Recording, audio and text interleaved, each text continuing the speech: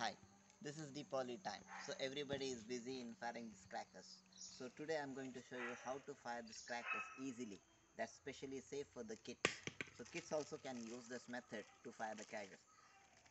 These kind of crackers, uh, kids eventually don't uh, uh, fire it because it's very dangerous for them. But still, some of the kids, if they wanted to fire this, they can do. The easiest method is to make a fire pot like this so which I prepared myself.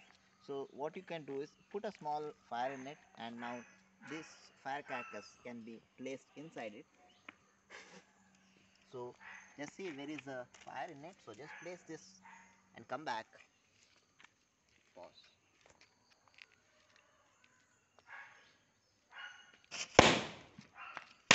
Yes. This is the easiest method. There is no harm. So you can actually place as many you want. It's going to be very safe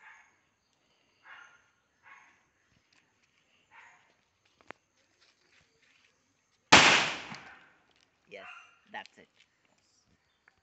To make this fire pot, so what you need is a coconut. Okay, so peel off the outer crust. So once you peel off the outer crust, then you have to prepare the fire, and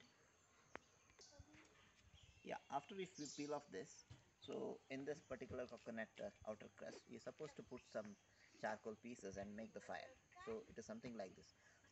Blow off here. So come closer, see. Blow off you should able to see this wire in it so it's going to be safe make sure that this is uh, completely covered with the fire let us place this in a safer place now the best method is to put the crackers onto it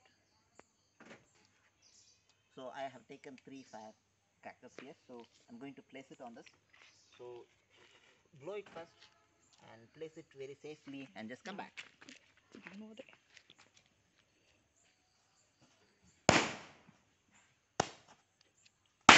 That's it.